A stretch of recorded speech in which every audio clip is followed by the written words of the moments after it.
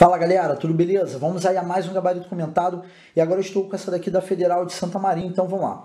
Assinale a alternativa que completa corretamente as lacunas da frase abaixo.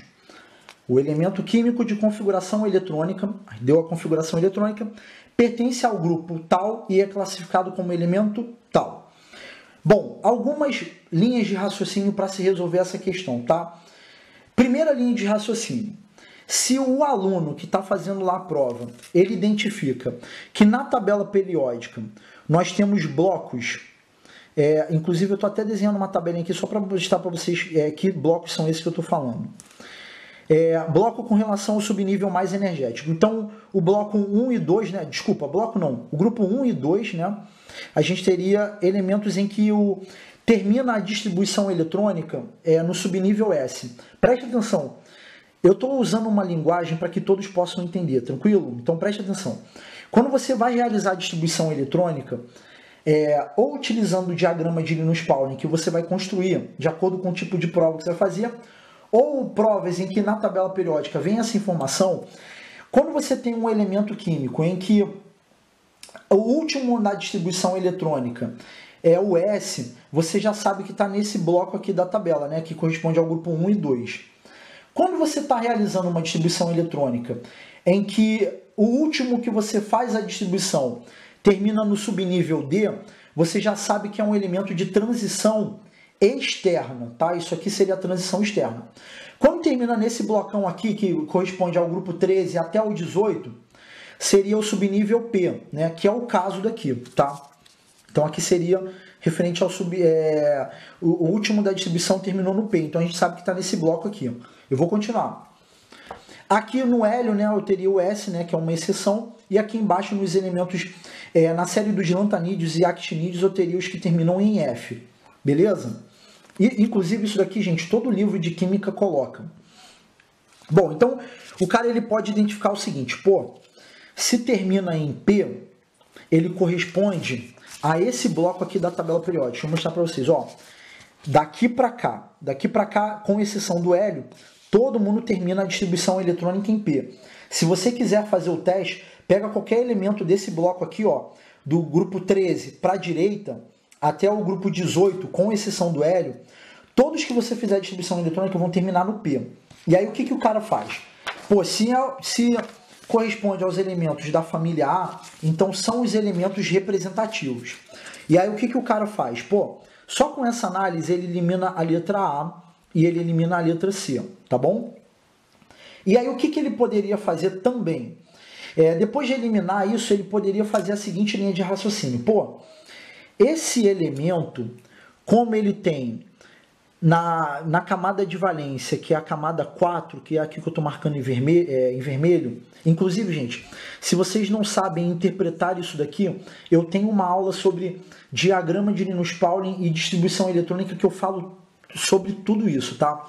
Então, esse daqui, essa daqui seria a camada de valência. Então, já que é um elemento representativo, ou seja, está na família A, a gente sabe que se a gente somar esse número de elétrons, a gente chega à família. Ou seja, 2 com 5 vai dar 7. Tá?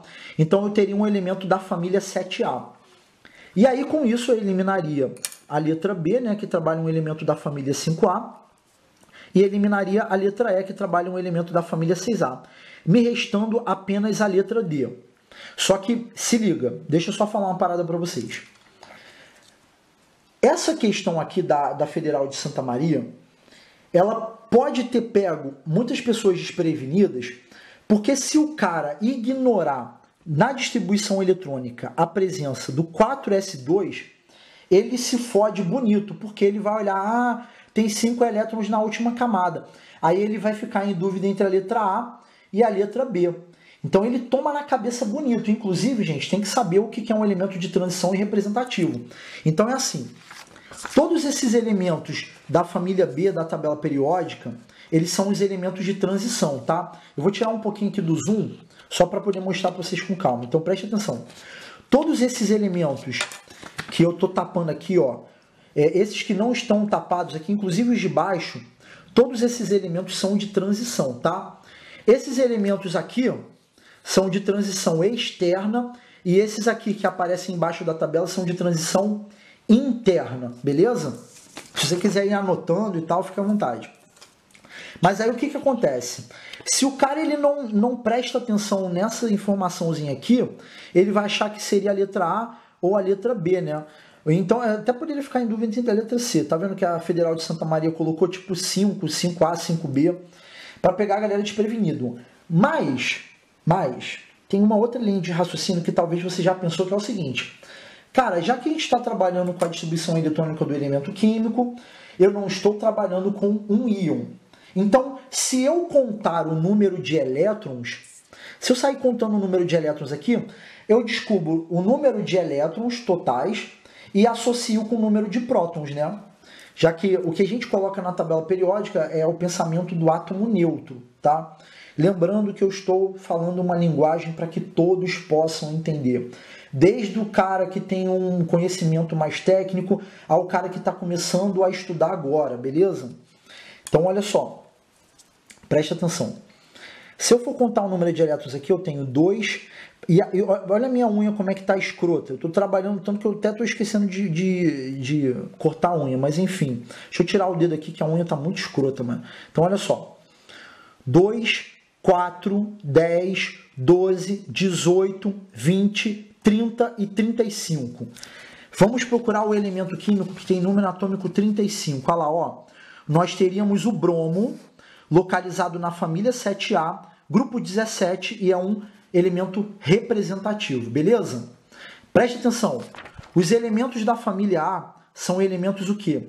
Representativos. Os elementos da família B são de transição. Lembrando que os elementos de transição podem ser divididos também em transição externa e transição interna, que eu mostrei para vocês anteriormente, tá? Então, assim, falei pra caramba nesse gabarito comentado, é, justamente visando alertar vocês a tomarem cuidado, como eu sempre digo. Tabela periódica é um assunto que é tranquilo. O problema todo é que os vestibulares eles colocam de uma forma para que você fique perdido na hora de marcar a alternativa. Então tem que ter muita atenção, muito embora o conteúdo seja fácil, tá? Bom, então é só isso, galera. Espero que eu possa ter ajudado de alguma forma. E se por acaso eu conseguir lhe ajudar, não deixe de curtir o vídeo, se inscrever no canal para ficar por dentro de todas as atualizações e se você puder, compartilhe aí para que mais pessoas possam ser beneficiadas com esse esforço. Um abraço, galera, e até o próximo vídeo.